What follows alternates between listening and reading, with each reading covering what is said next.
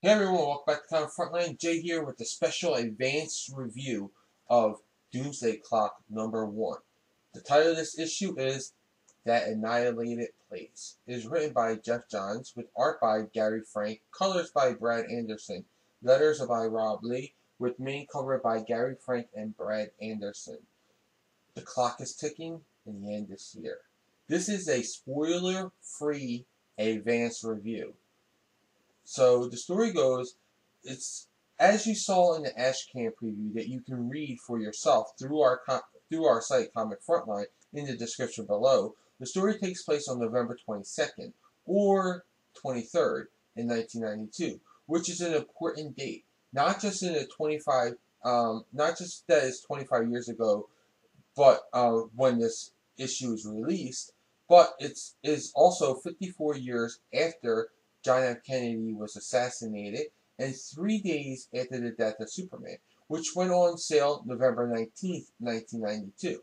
Why do these matter? Well, this book, like Watchmen, has political themes and undertones to it, and Superman is often seen as a metaphor for Jesus Christ, who was also risen from the dead three days after his death. Could this tell us something about the story?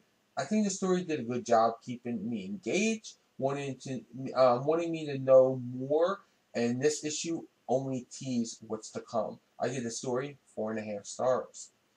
The art is great. Not only do you get um, the feel of Watchmen by the art, with uh, which Gary Frank and Brad Anderson do a great job invoking here, but they also give you the feel of Watchmen um, through the panels because um, Gary Frank goes one step further and he models the panel layouts after the Watchmen uh, first issue. So it's set up the same way Watchmen was, which only adds to the nostalgic feel of the book. The art gets 5 stars. Overall, this was an incredible read, and when I finished it, I ripped through it again and again, and each time I noticed more things that I didn't see the first time around. But, like I said, this is the beginning um, of the story, and as I said in the beginning of the review, this is just um, a spoilers-free review. But I will hint that the ending features something that was mentioned, um, but never explained yet, and it looks like it's about to be, and may prove one of my theories correct. If you want spoilers, then tune in on Wednesday, November 22nd, for my spoiler for, um, review at 9 a.m. Eastern Time. So with the story getting four and a half stars and the art getting five stars, I give this an overall of four and three quarter stars and say pick this up because this is the next big thing. Well, those are my thoughts. Now I want to hear yours in the comments below. Also, like this video, subscribe to Comic Frontline, check out and subscribe to my channel, The Comic Book Theater.